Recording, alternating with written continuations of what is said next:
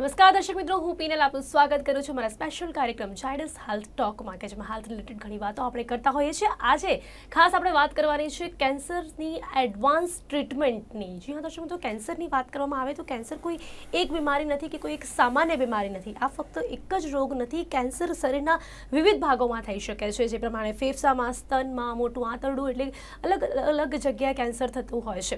અને આ એક એવી જાનલેલા જાનલેવા બીમારી છે. પણ કેન્સરની વાત કરીએ તો કેન્સર જેટલી જાનલેવા બીમારી છે, તેની સામે જ એની માટે એડવાન્સ ટ્રીટમેન્ટ પણ ઘણી બધી આવી ગઈ છે કે જેનાથી આપણે કહી શકીએ છીએ કે જે પ્રમાણે થોડા વર્ષો પહેલાં ઓપરેશન માટે શરીરમાં ઘણી વાટકાપ કરીને ઘણા ટાંકા લેવા પડતા હતા, હવે એવું નથી થતું. હવે તેના બદલે આધુનિક મેડિકલ સાયન્સની દેન ગણાતી લેપ્રોસ્કોપિક સર્જરી, ડોપેટિક સર્જરી એ તમામ સર્જરીના કારણે ઘણું બધું, આટલું બધું નથી કરવું પડતું ને માત્ર એક નાનકડું ચિત્ર કરીને ઓપરેશન કરવામાં આવે છે અને સાથે જ દર્દીને હવે ઘણા દિવસ સુધી, એટલે કે વધારે દિવસ સુધી હોસ્પિટલમાં રહેવું પણ નથી પડતું. તો આજે આપણે એ જ એડવાન્સ ટ્રીટમેન્ટની વાત કરીશું અને સાથે જ આ એડવાન્સ ટ્રીટમેન્ટની વાતો કરવા માટે અમારી સાથે જે સ્ટુડિયોમાં ઉપસ્થિત છે, તેમની વિશે આપણે જણાવી દઉં કે ભારતમાં એકમાત્ર એવા ડૉક્ટર છે કે જે laparoscopy surgery, thoracoscopy surgery, robotic surgery and સાથે જ એન્ડોસ્કોપી સર્જરી. એટલે કે આ ચારે ચાર સર્જરી ભારતમાં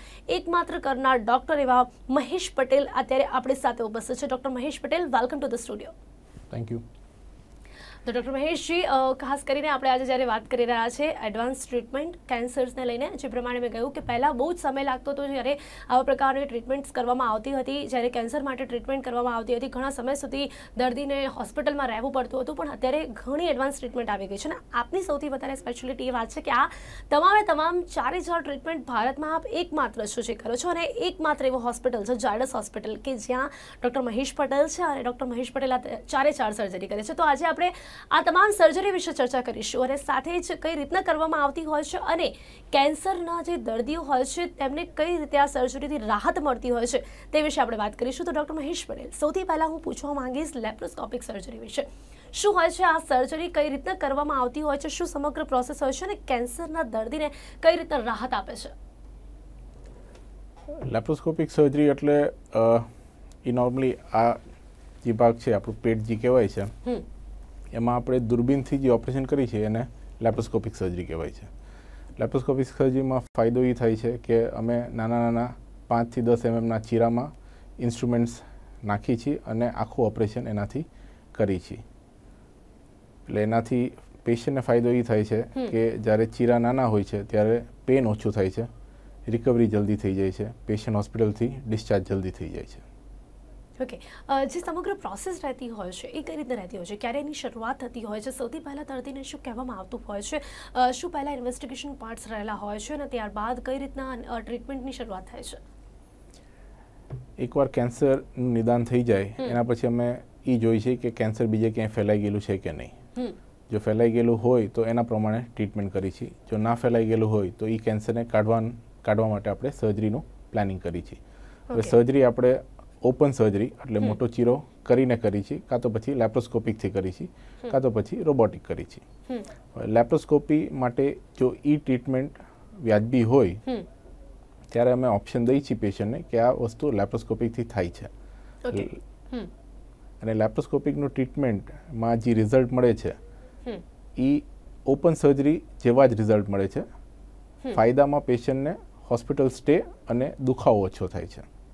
ઓકે એટલે કોઈ પણ ગેરફાયદો આમાં નથી થતો કે કે જે પ્રમાણે એમાં આપણે સૌ જાણીએ છીએ કે જ્યારે આવી સર્જરી કરવામાં આવતી હોય છે તો મોટા કેમેરાઝમાં નાખવામાં આવતા હોય છે ઇન્સ્ટ્રુમેન્ટ્સ નાખવામાં આવતા હોય છે તો એ બધું ઓલ ઓકે રહે છે કોઈ દર્દીને એમાંથી કોઈ પણ કોઈ પ્રકારનો પ્રોબ્લેમ નથી થતો. ક્વોલિફાઈડ પર્સન અને જેની પાસે આની સ્કિલ્સ હોય છે એ કરે છે ત્યારે the results are better than open surgeries okay જે જ્યારે ઓપન સર્જરીની વાત આવે છે તો આપે જે પ્રમાણે કહ્યું કે આપ જે દર્દીને સજેસ્ટ કરતા હો છો કે આમાં લેપ્રોસ્કોપી થઈ શકે છે. તો એવા કેવા કેસીસ હોય છે કે જેમાં આપ નથી કરી શકતા કે જેમાં આપણે કહી શકીએ છીએ કે કમ્પલસરી એમાં મોટા ચીરાવાળા જે ઓપરેશન કે જે પહેલાં થતા હતા એ જ કરવા પડે એવા પણ કેસીસ હોય છે ખરી? જ્યારે ગાંઠ બહુ મોટી હોય છે અને આપણે ગાંઠને જ્યારે કાઢવાનું થાય છે ત્યારે તો ચીરો કરવો જ પડે છે. જો ગાંઠ જ એટલી મોટી છે કે જ્યારે કાઢવા ટાઈમે આપણે લેપ્રોસ્કોપીથી ભલે કર્યું હોય. પણ કાઢવા ટાઈમે મોટો ચીરો પેટમાં લાગવાનો છે તો પછી લેપ્રોસ્કોપીનો કોઈ ફાયદો નથી. ઓકે જે લેપ્રોસ્કોપી સર્જરી હોય છે એમાં કેટલો સમય લાગી જતો હોય છે? શું તૈયારીઓ આપને પણ કરવી પડતી હોય છે? ને અત્યારે એડવાન્સ જ્યારે થઈ ગયું છે બધું જ ત્યારે હજી પણ શું શું એડવાન્સ આ સર્જરીમાં આવી રહ્યું છે અને કેટલા સમયમાં આ સમગ્ર પ્રોસેસ થઈ જતી હોય છે? લેપ્રોસ્કોપીના જે ટ્રેન સર્જન છે એ લોકો સર્જરી એ ટાઈમ ડ્યુરેશનમાં પતાવી દે છે જેટલું ઓપન સર્જરીઝમાં જોઈ છે. એટલે એમાં ટાઈમ ડ્યુરેશન વધારે નથી લાગતો. ઓકે એની માટે સાધનો થોડા એડવાન્સ છે. કેમેરાસ થોડા એડવાન્સ છે. એ કેમેરાસ એવા એડવાન્સ હોય છે કે આપણને જે વસ્તુ આપણે જોઈ છીએ એને મેગ્નિફિકેશનમાં દેખાડે છે. એટલે સર્જનને પણ સારું છે કે જ્યારે એ ઓપરેશન કરે છે એને વસ્તુ મોટી દેખાય છે. એટલે અહીંયા મિસ્ટેકથી બીજું કંઈ કાપવાની શક્યતા ઓછી થઈ જાય છે. એટલે આ બધાય ફાયદા છે લેપ્રોસ્કોપીના. ઓકે તો આમાં ખાસ કરીને આપણે દર્દીના જો ફાયદા ગણી શકીએ આ સર્જરીના તો એ આપણે એ માની શકીએ છીએ કે જે દર્દી છે તેને હોસ્પિટલાઇઝડ ઓછું રહેવું પડે છે અને સાથે જ મોટા જે ચીરફાડ પહેલાં થતા હતા એ નથી થતા. આ જ એના ફાયદા આપણે ગણી શકીએ છીએ ડૉક્ટર? એબ્સોલ્યુટલી જી. એ સિવાય હવે આપણે બીજી અને સર્જરીની વાત કરીએ થેર્કોસ્કોપી સર્જરીની વાત કરીએ તો એ સર્જરી શું છે અને એ કેન્સરના દર્દીને કઈ રીતના એમાં રાહત મળે છે? થોરેકોસ્કોપી એટલે આપણે જ્યારે આ લેપ્રોસ્કોપિક સર્જરી છાતીમાં કરી છે ત્યારે એને થોરેકોસ્કોપિક કહેવાય છે. ઓકે. થોરેક્સમાં આપણે જ્યારે એન્ટર કરવું હોય ત્યારે આપણે પાસળીઓના થ્રુ જવું પડે છે. અને પાસળીઓને આપણે સપરેટ કરવા જઈએ છીએ જ્યારે ઓપરેશન કરવા. માની લ્યો ફેફડાનું ઓપરેશન કે અન્નડીનું ઓપરેશન હોય છે. ત્યારે જ્યારે આપણે પાસળીઓને સપરેટ કરી છે એમાં ફ્રેક્ચર થવાની શક્યતા બહુ જાજી હોય છે. ઓકે. એમાં પેશન્ટનું હોસ્પિટલમાં રહેવાનું અંદાજન દસથી પંદર દિવસ થઈ જાય છે કેમ કે એ દુખાવો જેટલો રહે છે. એટલે સૌથી જાજો ફાયદો જે લેપ્રોસ્કોપીનો છે એ જ્યારે આપણે થોરેક્સમાં એટલે થોરેકોસ્કોપી કરી છે ત્યારે એનો સૌથી જાજામાં જાજો ફાયદો દેખાય છે. ઓકે. કોઈ રિસ્ક ફેક્ટર રહેલું હોય છે કે જે ધ્યાન રાખવું પડતું હોય? કે પછી આપણે દર્દીને શરૂઆત કરતાં પહેલાં પણ આપણે ક્યાંક કંઈક સજેશન આપવું પડતું હોય છે? સૌથી મોટા મોટો risk factor is the surgeon જો સર્જન એડિક્વેટલી ટ્રેન ના હોય તો he is the biggest risk factor for the patient એટલે માની શકે છે કે ઝાયડસ હોસ્પિટલમાં તો એવો કોઈ રિસ્પેક્ટર હશે જ નહીં કારણ કે ડૉક્ટર મહેશ પટેલ કે જેઓ ભારતના એકમાત્ર ડૉક્ટર છે એ ત્યાં તમામ સર્જરી કરે છે એટલે ત્યાં તો આ રિસ્પેક્ટર રહેતો જ નહીં હોય રાઈટ એડિક્વેટલી ટ્રેન હોવું જોઈએ છે that is the primary point okay તો હવે આ જે થેરકોસ્કોપી સર્જરીની આપણે વાત કરી રહ્યા છે એ સર્જરી સમગ્ર જે પ્રોસેસ હોય છે એ કેટલા ટાઈમમાં થતી હોય છે? એ પ્રોસેસ કઈ રીતના એની શરૂઆત થતી હોય છે? ઇન્વેસ્ટિગેશન પાર્ટ શું રહેલું હોય છે કે કેન્સર કયા લેવલ પર હોય છે? ત્યારે આપ આ સજેસ્ટ કરી શકો છો અને ત્યારબાદ શું પ્રોસેસ રહેતી હોય છે? યુઝ્યુઅલી જે અર્લી કેન્સર હોય છે એમાં સૌથી જાજો ફાયદો લેપ્રોસ્કોપી અને થોરાકોસ્કોપીનો મળે છે. જે ઇન્સ્ટ્રુમેન્ટ છે એમાં થોડો ફેરબદલ રહે છે લેપ્રોસ્કોપી અને થોરેકોસ્કોપીમાં પણ પ્રાઇમરી ઇન્સ્ટ્રુમેન્ટ્સ બંને સેમ જ રહે છે. ટ્રેનિંગમાં લેપ્રોસ્કોપી અને થોરેકોસ્કોપીમાં ઘણો ફરક પડે છે.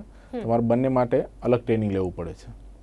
ઓકે એવી જ રીતે આપણે જ્યારે લેપ્રોસ્કોપીની વાત કરી તો એમાં પણ એવું જ રહેતું હોય છે કે કેન્સરના લેવલ આપણે સૌ જાણીએ છીએ કે જે પ્રમાણે વધતા હોય છે લેવલ્સ તો એ પણ કયા લેવલ પર આપ સજેસ્ટ કરી શકો છો? આપણે level stage one two three એમાં આપણે ક્યોરનું વિચારી છીએ. સ્ટેજ ફોરમાં યુઝ્યુઅલી ક્યોરની શક્યતા બહુ ઓછી હોય છે. સ્ટેજ ફોરમાં પણ લેપ્રોસ્કોપી અને થોરાકોસ્કોપીના ઇન્ડિકેશન્સ છે પણ બહુ ઓછા છે. ઓકે. થેરેકોસ્કોપી જે સર્જરી છે એ કેન્સરના દર્દીને કઈ રીતે રાહત એમાં એડવાન્ટેજીસ શું છે? જે પ્રમાણે એડવાન્સ સર્જરીના એડવાન્ટેજીસ રહેલા હોય છે તે પ્રમાણે આ થેરેકોસ્કોપી સર્જરીના એડવાન્ટેજ શું છે? થોરેકોસ્કોપી સર્જરી હું એક્ઝામ્પલ દઉં. માની લો અન્નડીનો કેન્સર છે. જી. તો આંડળીના કેન્સરમાં આપણે જ્યારે ઓપન સર્જરી કરી છે ત્યારે આપણે મોટો ચીરો મારી છીએ છાતીમાં. પાસળીઓ ખોલી છે બુકની જેમ. અને પછી આંડળીનું ઓપરેશન કરી છે. આ આખા પ્રોસેસમાં યુઝ્યુઅલી પેશન્ટને પંદરેક દિવસ હોસ્પિટલમાં રહેવું પડે છે. ઓકે હવે આને આ વસ્તુ આપણે થોરેકોસ્કોપી જ્યારે કરી છે ત્યારે છાતીમાં ત્રણ નાના ચીરા આવે છે. બે પાંચ એમએમના એક દસ એમએમનો. અને એમાંથી આપણે આખું ઓપરેશન કરી છે. એટલે એક આઈડિયા લઈ લ્યો કે માણસને એક્સિડન્ટ થયું હોય અને જ્યારે એને પગમાં વાગ્યું હોય હાથમાં વાગ્યું હોય છાતીમાં વાગ્યું હોય ઘણી બધી જગ્યાએ વાગ્યું હોય કે ચીરો લાંબો હોય તો એટલું જ દુખાવો જાજો છે એટલું જ એને રિકવરીમાં જાજો ટાઈમ લાગે છે. પ્લસ ઓલ્ડ પેશન્ટ્સ જે છે જે ગરડા છે એની જો છાતીની કન્ડિશન બહુ સારી ના હોય તો એ લોકો પેનના કારણે શ્વાસ હરકીતે નથી લઈ શકતા અને પછી નિમોનિયા જેવા કોમ્પ્લિકેશન્સ થાય છે. આ બધુંય લેપ્રોસ્કોપીમાં થવાની શક્યતા ઘણી ઓછી. એના કારણે અમે આ ટેકનિકથી સાઠ સિત્તેર એસી વર્ષના જી. પેશન્ટ્સને પણ આ ટેકનિકથી ઓપરેટ કરી શકીએ છીએ. ઓકે. એટલે આ લેપ્રોસ્કોપી હોય થેરકોસ્કોપી હોય આ તમામ સર્જરીમાં એજ લિમિટ્સ ધ્યાન રાખવી પડતી હોય છે ખરી? નહીં આમાં એજ લિમિટ ઓપન સર્જરીઝમાં ધ્યાન રાખવી પડે છે. ઓકે આ આ એડવાન્સ સર્જરીમાં નહીં? ના એડવાન્સ સર્જરીના ફાયદા એ થાય છે કે કેમ કે એનું રિકવરી જલ્દી છે એટલે આપણે ગરડામાં પણ આ ઓપરેશન કરી શકી છે. ઓકે નાવ આપણે જે ત્રીજી સર્જરીની વાત કરી હતી રોબોટિક સર્જરી કે જે અત્યારે પૂછ માની શકે છે કે ઘણી બધી જગ્યાએ જોવા મળતી હોય છે પણ સાથે જો રોબોટિક સર્જરીની વાત કરીએ તો આ કઈ રીતના કેન્સરના દર્દીને રાહત આપે છે અને શું છે આ સર્જરી કઈ રીતના કરવામાં આવતી હોય છે? રોબોટિક સર્જરી આપણે સૌથી લેટેસ્ટ એડવાન્સમાં ગણાય છે. It is the highest form of artificial intelligence જેને કહેવાય છે. ઓકે રોબોટિક સર્જરીમાં ડૉક્ટર પેશન્ટની બાજુમાં નથી રહેતો. ઓકે. એ એક કન્સોલ હોય છે જ્યાં રોબોટનું આખું કંટ્રોલ હોય છે. ત્યાં બેસીને આખું ઓપરેશન કરે છે. એટલે રોબોટના ચાર હાથ હોય જે પેશન્ટના પેટની અંદર યા તો છાતીની અંદર હોય. પણ એનું કંટ્રોલ સર્જનના હાથમાં હોય. સર્જન જેવી રીતે કંટ્રોલ કરે છે એના પ્રમાણે અંદર હાથ હલે છે. રોબોટિક સર્જરીનો સૌથી મોટો મોટો ફાયદો છે કે રોબોટનો જે હાથ છે એને સેવન ડિગ્રી ઓફ મૂવમેન્ટ છે. આપણે આમ મારે આમ હાથ કરવો હોય તો એક લિમિટેશન આવી જાય છે. પણ રોબોટનો હાથ આમ એ પણ આવી શકે છે. એટલે એના કંટ્રોલ માટે અમારા હાથમાં જે કંટ્રોલ્સ હોય છે આપણે જેમ કરી એના પ્રમાણે રોબોટના હાથે પણ અંદર ઓપરેશન કર્યા રાખે આ ક્યાંક આપ પહેલા ફીલ કરતા હશો? કે આ જે પ્રમાણે આપણે વાત કરી કે જે હાથ ટર્ન્સ કરવાના રહેતા હોય છે એ પહેલા આપના હાથ ટર્ન્સ નહીં થતા હોય કે જે હવે આ એડવાન્સ ટેકનોલોજી આવી છે ત્યારથી આપના જે સક્સેસ રેટ હશે તે વધી પણ ગયા હશે. આપણે પોતે પણ પહેલાં ફીલ કર્યું હશે ઓપરેશન્સમાં યસ થોડી જગ્યા જ્યાં તમારા હાથ પહોંચવા અઘરા હોય છે જેમ. પેલ્વિસ છે જેમ થોરેક્સ છે એ જગ્યાએ રોબોટના હાથ પહોંચી શકે છે અને આ બધા એંગલ્સના કારણે સર્જરી કરવામાં ઘણી આસાની થાય છે. ઓકે. આમાં પણ ક્યાંક સમયની જો વાત કરીએ તો કેટલો સમય ઓછો લાગતો હોય છે? બીજું બીજા શું એડવાન્ટેજીસ રહેતા હોય છે? રોબોટિક સર્જરીઝમાં પણ તમારે ટ્રેનિંગની સૌથી જલ્દી જરૂરત છે. રોબોટિક ટ્રેનિંગમાં તમે જે એકવાર માહિર થઈ જાઓ તો રોબોટિક સર્જરી પણ તમે એટલા જ ટાઈમમાં કરી શકો છો જેટલું લેપ્રોસ્કોપી અને ઓપન સર્જરીમાં ઓકે જે પ્રમાણે અહીંયા રોબોટ્સ રહેલા હોય છે અને આપ તો જે સર્જન હોય છે તે તમામ વસ્તુ ફીલ કઈ રીતના કરી શકે છે? એ શું સમગ્ર પ્રોસેસ હોતી રહેતી હોય છે? રોબોટિક સર્જરીમાં તમને કોઈ ફીલ નથી આવતું. ઓકે એટલે તમારે અંદર એક કેમેરા હોય છે રોબોટના એક હાથમાં કેમેરા હોય છે જેનાથી તમે અંદર પેટની અંદર યા છાતીની અંદર જોઈ શકો છો. ઓકે એટલે એ કેમેરામાં તમે જોઈને બીજા હાથોથી તમે ઓપરેશન કરી શકો છો. પણ તમને બિલકુલ એનું ફીલ નથી આવતું.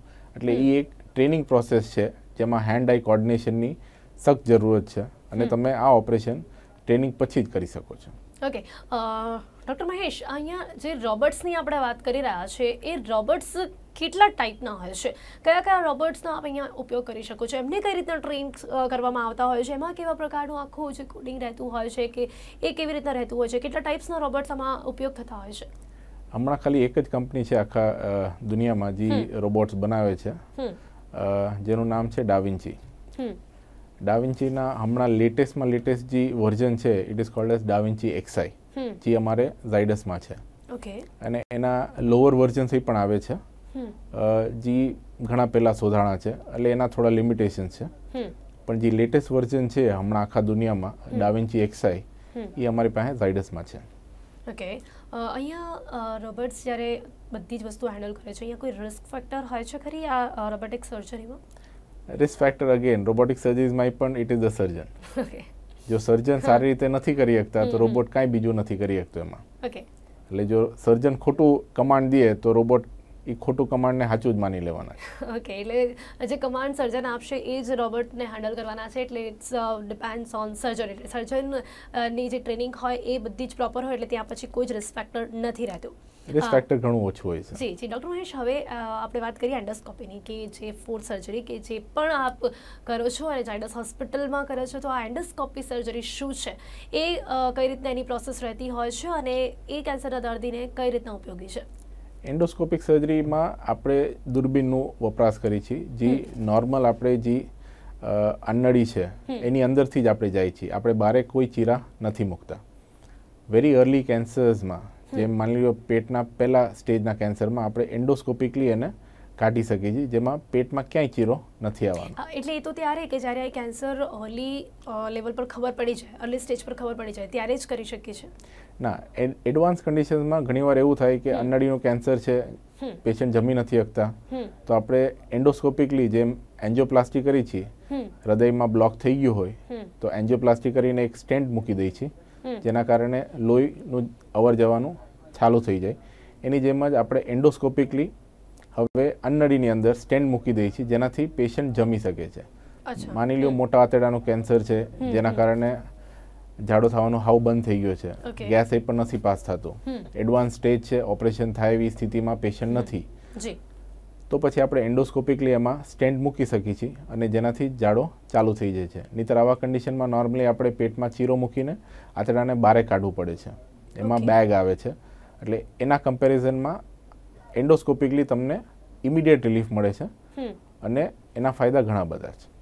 ઓકે તો જ્યારે જે પ્રમાણે આમાં સ્ટેન્ડ મૂકવામાં આવે છે તો એ પછી પણ દર્દીઓને આપ કંઈક સજેશન આપતા હશો કે પછી એ પછી પણ કંઈક ધ્યાન રાખવું પડતું હશે? એ મૂક્યા પછી પણ? સ્ટેન્ટ આપણે જ્યારે પેલિએશન એટલે ચોથા સ્ટેજમાં મૂકી છીએ ત્યારે જેટલો ટાઈમ દર્દી જીવે છે ત્યાં સુધી સ્ટેન્ટ કામ કરે તો દર્દીને ક્વોલિટી ઓફ લાઈફ મેન્ટેન રહે છે. ઓકે. ઘણીવાર અમે સ્ટેન્ટ એ ટાઈમે પણ મૂકી છીએ જ્યાં ઓપરેશન થાય એવું છે. પણ એમરજન્સીમાં કરવામાં જોખમ બહુ જાજુ હોય છે. એટલે એ એમરજન્સીને ટાઈડ ઓવર કરવું. એટલે એમરજન્સી નીકળી જાય એ ટાઈમ દરમિયાન આપણે પેશન્ટને બિલ્ડઅપ કરી હકી એટલે એ એમરજન્સીને ઘટાડવા માટે આપણે સ્ટેન્ટ ઘણીવાર મૂકી દે છે. તો it depends on situation it depends on the situation okay તો આ જે સમગ્ર પ્રોસેસ રહેતી હોય છે એમાં કેટલો સમય લાગી જતો હોય છે અને રિકવરી પછી કેટલી રહેતી હોય છે? શું શું રાહત મળતી હોય છે જે દર્દી હોય છે તેને? શું એડવાન્ટેજીસ છે આના? એન્ડોસ્કોપિક પ્રોસિજર્સમાં રિઝલ્ટ્સ પ્રેક્ટિકલી ઇમિડિયેટલી જ મળે છે. કે અન્નડીનો કેન્સર હોય સ્ટેન્ડ મૂકી દઈ તો ઇમિડિયેટલી બીજા દિવસથી જમવાનું ચાલુ થઈ જાય છે. ઓકે આંતરડાનો કેન્સર હોય હાવ ઝાડો બંધ થઈ ગયો હોય સ્ટેન્ડ મૂકી દઈ તો ઇમિડિયેટલી ઇમિડિયેટલી જાડો ચાલુ થઈ જાય છે. એટલે endoscopic સર્જરીઝમાં results are absolutely immediate okay જે પ્રમાણે આપણે આ એડવાન્સ સર્જરીની વાત કરી રહ્યા છે એડવાન્ટેજીસની પણ આપણે ઘણી વાત કરી. ઘણા એડવાન્ટેજીસ છે આના બહુ જ ઓછો સમય સુધી હોસ્પિટલમાં રહેવું પડતું હોય છે ચીરફાડ પણ નથી થતી તરત આમાં જમી શકે છે. પણ બીજું એક જે અહીંયા એક વાત હશે જે તમામ દર્શક મિત્રોને પણ ક્યાંક જાણવી હશે કે જ્યારે આટલી એડવાન્સ સર્જરી છે તો આમાં ખર્ચો પણ ખૂબ થતો હશે. તો સૌથી પહેલાં તો આપણે અત્યારે જ્યારે આની જ વાત કરી રહ્યા છે એન્ડોસ્કોપીમાં તો કેટલો ખર્ચો લાગે છે આમાં? એ હોસ્પિટલના પોલિસી ઉપર છે. એટલે ઝાયડસ જેવા હોસ્પિટલમાં પેકેજ દેવાય છે. જ્યાં તમે જ્યારે આવો છો ત્યારે તમને કહેવાય જાય છે કે આટલામાં થઈ જવાનું છે. જો એનાથી જાજો ખર્ચો થાય તો પછી હોસ્પિટલ બેર સેટઅપ જો કંઈ કોમ્પ્લિકેશન થાય છે. એ એક મોટો ફાયદો છે જેનાથી એક શ્યોરિટી રહે છે કે આમાં ભલે ઓપરેશન મોટા હોય છે પણ આમાં અનએક્સપેક્ટેડલી જો ખર્ચો વધી જાય છે તો કોઈ છે આને ધ્યાન રાખવા માટે. ઓકે તો લેપ્રોસ્કોપી સર્જરીની જે આપણે વાત કરી અને સાથે થેરાકોસ્કોપી સર્જરીની જે વાત કરી આપે અને સૌથી એડવાન્સ્ડ સર્જરી કે રોબોટિક સર્જરી જેની આપણે વાત કરી આ બધી જ સર્જરીમાં સર્જરી ખૂબ ખર્ચાળ રહેતી હોય છે અને આ બધી સર્જરી માટે કેવા પ્રકારની પોલિસી છે જાડેસ હોસ્પિટલમાં લેપ્રોસ્કોપિક સર્જરી ઓપન સર્જરીઝમાં ઝાયડસ હોસ્પિટલમાં સેમ રેટ સેટ કરવાય છે. ઓકે કેમ કે અમે પેશન્ટનું જે બેનિફિટ્સ છે એને ધ્યાનમાં રાખીને આનો ખર્ચો વધાર્યો નથી. રોબોટિક સર્જરીઝનો ખર્ચો બહુ થોડો લેપ્રોસ્કોપી અને ઓપન કરતાં વધે છે. ઓકે એન્ડ થેરાકોસ્કોપી અને રોબોટિક સર્જરીમાં થોરેકોસ્કોપી અને લેપ્રોસ્કોપિક સર્જરી પ્રેક્ટિકલી ખાલી જગ્યાનો ફેરબદલ થાય છે એના માટે આ નામ જુદા રાખ્યા છે. પણ આપણે ઓપન સર્જરી કરી અને લેપ્રોસ્કોપિક સર્જરી કરી યા થોરેકોસ્કોપિક સર્જરી કરી બંનેના ખર્ચા સેમ છે. અને રોબોટિક સર્જરીનો ખર્ચો થોડો જાજો. આ બે પદ્ધતિથી છે. કેમ કે સૌથી એડવાન્સ ટેકનોલોજી છે. અચ્છા ડૉક્ટર મહેશ પટેલ આપણે જે પ્રમાણે મેં આપને પૂછ્યું કે એન્ડોસ્કોપીમાં આફ્ટર ધ ટ્રીટમેન્ટ શું ધ્યાન રાખવું પડતું હોય છે? જે પ્રમાણે આપણે જણાવ્યું કે તરત જ દર્દી ખાતો થઈ જાય છે બહુ જલ્દી ઇમિડિયેટ રિઝલ્ટ જોવા મળે છે. એ જ રીતે જો આપણે લેપ્રોસ્કોપીમાં વાત કરીએ તો એમાં પણ ઇમિડિયેટ રિઝલ્ટ જોવા મળે છે. એન્ડ આફ્ટર ધ ટ્રીટમેન્ટ શું ધ્યાન રાખવું પડતું હોય છે? પેશન્ટ લેપ્રોસ્કોપિક અને રોબોટિક સર્જરીમાં યુઝ્યુઅલી બીજા દિવસે ચાલવા માંડે છે. અને એકવાર પેન હાવ કંટ્રોલમાં થઈ જાય છે પેશન્ટ ખાતા પીતા થઈ જાય છે તો આપણે ઇમિડિયેટલી પેનના કારણે હોસ્પિટલમાં રાખવાની જરૂર નથી પડતી.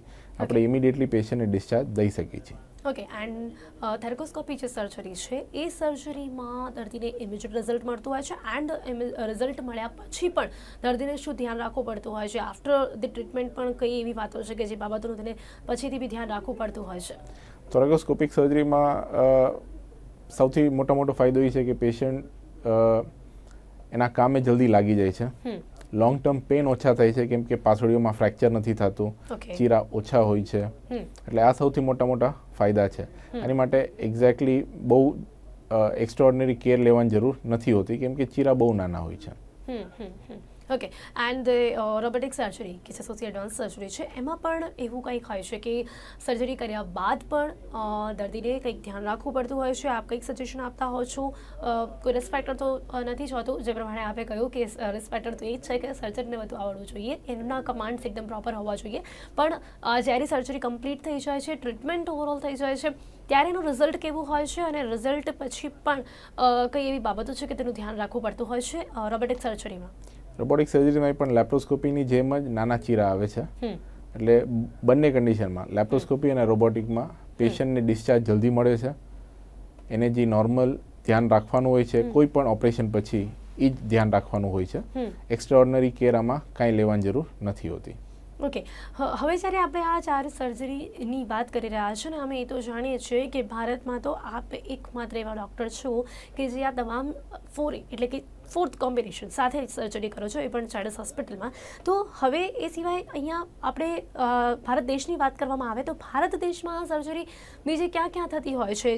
સૌથી પહેલાં લેપ્રોસ્કોપી સર્જરીની વાત કરીએ તો. લેપ્રોસ્કોપી સર્જરી તો ઘણી બધી જગ્યાએ થાય છે. કેમ કે લેપ્રોસ્કોપીની જે પદ્ધતિ છે એ છેલ્લા વીસ પચીસ વર્ષથી એનું ઘણું એક્સપાન્શન થઈ ગયું છે. એટલે પ્રેક્ટિકલી હવે ઓપન સર્જરીઝ બહુ ઓછું ઇન્ડિક એના એને ઇન્ડિકેશન રહ્યા છે. ઓકે એન્ડ થાર્કોસ્કોપી સર્જરી એ પણ ભારત દેશમાં આપણા દેશમાં ક્યાં ક્યાં થતી હોય છે? ઘણી બધી મેજોરિટી મેજર સિટીઝમાં બધે આ થોરેકોસ્કોપિક સર્જરીઝ પણ થાય છે. Okay and robotic surgery and endoscopy robotic surgeries જે એડવાન્સ મશીન છે એ આખા ઇન્ડિયામાં બહુ ઓછા છે. જ્યાં સુધી મને ધ્યાન છે દસથી ઓછા મશીન આખા ઇન્ડિયામાં હશે. આ એડવાન્સ મશીન્સ એના જૂના વર્ઝન પ્રેક્ટિકલી ઇન્ડિયામાં મને લાગે અંદાજન અંદાજન સાઠથી સિત્તેર એટલે અને જે એકદમ એડવાન્સ છે એકદમ ન્યૂ વર્ઝન છે એ ક્યાં ક્યાં અવેલેબલ છે? આપણે અમદાવાદમાં છે. બોમ્બેમાં છે. ઓકે. દિલ્હીમાં છે. એટલે થોડા મેજર મેટ્રોઝમાં આ એડવાન્સ રોબોટિક સિસ્ટમ છે. ઓકે. એન્ડ એન્ડોસ્કોપી સર્જરી એ પણ ક્યાં ક્યાં અવેલેબલ છે? એન્ડોસ્કોપિક સર્જરીઝ પ્રેક્ટિકલી બધા સિટીઝમાં અવેલેબલ છે હવે. પણ જે એડવાન્સ એન્ડોસ્કોપિક સર્જરીઝ કેન્સર માટે થાય છે એ બહુ ઓછા સિટીઝમાં અવેલેબલ છે, પણ મેજોરિટી મેટ્રોઝમાં તો અવેલેબલ છે જ. ઓકે ડૉક્ટર મહેશ પટેલ, હવે જ્યારે આ ચારે ચાર સર્જરીની આપણે વાત કરી છે અને ઝાયડસ હોસ્પિટલમાં જ્યારે સર્જરી આપ કરો છો, તો એટ ધ એન્ડ આ દર્શક મિત્રોને શું કહેવા માંગુ છું કે આ જ્યારે સર્જરી ઝાયડસ હોસ્પિટલમાં જ્યારે કરવામાં આવે છે, ત્યારે શું એડવાન્ટેજીસ એમાં રહેલા છે? શું અલગ નવી પોલિસીસ છે કે જ્યારે જે પણ દર્દી હોય તે ઝાયડસ હોસ્પિટલમાં જો આ સર્જરી કરાવે, તો તેમને શું એડવાન્ટેજીસ મળી શકે છે? ઝાયડસ હોસ્પિટલ કરવામાં સૌથી મોટો મોટો ફાયદો એ છે કે ઇન્ફ્રાસ્ટ્રક્ચર બહુ સારું છે. જી. માની લો કે પેશન્ટને કે કંઈક હૃદયનો પ્રોબ્લેમ છે કે કિડનીનો પ્રોબ્લેમ છે કેમ કે આમાં દર્દીઓ યુઝ્યુઅલી ઓલ્ડ એજમાં કેન્સર થાય છે. તો એ બધું જે એન્સિલરી ટ્રીટમેન્ટની જરૂરિયાત પડે છે એ બધું તમને એક જ હોસ્પિટલની અંદર મળી જશે. બીજું કે પેકેજ સિસ્ટમ છે એટલે જ્યારે તમે આવો ત્યારે તમને પહેલાં જ કહેવાય જાય છે કે આ કોસ્ટની અંદર તમારું ઓપરેશન થઈ જાય. જો કંઈ કોમ્પ્લિકેશન એ પણ થાય છે તો એ it will be bed by Zydus hospital જી જી. બહુ જ સારી એવી પોલિસી છે કે જેનાથી પહેલાંથી જ ક્યાંક જે પણ જે તે વ્યક્તિ હોય તેને આ સર્જરી કરાવી હોય તો એ મેન્ટલી ફ્રી ફીલ કરી શકે છે અને આગળ કંઈ રિસ્ક ફેક્ટર પણ એ લોકોને ન રડે. તો અહીંયા સમય સમાપ્ત થઈ ગયો છે. ડૉક્ટર મહેશ પટેલ આવ્યા અને આ તમામ જે સર્જરીઝ છે જે એડવાન્સ ટ્રીટમેન્ટ છે તેમના વિશે લોકોને જણાવ્યું. તે બદલ આપનો ખૂબ ખૂબ ધન્યવાદ. થેન્ક યુ તો દર્શક મિત્રો, ડૉક્ટર મહેશ પટેલ કે જે ભારતમાં એકમાત્ર એવા સર્જન છે કે જે આ laparoscopy thoracoscopy and robotic surgery endoscopy આ તમામ સર્જરી કરે છે જાડસ હોસ્પિટલમાં છે. આ સાથે જાડસ હોસ્પિટલમાં કઈ પોલિસીસ છે આ સર્જરી માટે એ પણ આપણે જણાવ્યું, આ સર્જરી કઈ રીતના થતી હોય છે, કયા લેવલ પર સજેસ્ટ કરવામાં આવતી હોય છે, સાથે જ શું ધ્યાન રાખવું પડતું હોય છે, એ તમામ ચર્ચા આજે આપણે કરી છે. હવે સમય થઈ ગયો છે, રજા લેવાનો. રજા આપશો. નમસ્કાર. ઝાયડસ હોસ્પિટલ ગુજરાતની સૌથી વિશાળ આધુનિક મલ્ટી સ્પેશિયાલિટી કોર્પોરેટ હોસ્પિટલ જ્યાં હૃદય રોગ, કિડની જોઈન્ટ રિપ્લેસમેન્ટ મગજ અને જ્ઞાનતંતુ, પેટ અને આંતરડા, કાન, નાક, ગળા તેમજ સ્ત્રી રોગને લગતા તમામ રોગોની આધુનિક સારવાર. નિષ્ણાંત ડોક્ટરો દ્વારા world class operation theatre cath lab laparoscopy surgery unit ICU radiology અને પેથોલોજી યુનિટ ઇમરજન્સી સારવાર અને એમ્બ્યુલન્સની સેવાઓ પારદર્શકતા સાથે. તમારા સ્મિતનો સાથી ઝાયડસ હોસ્પિટલ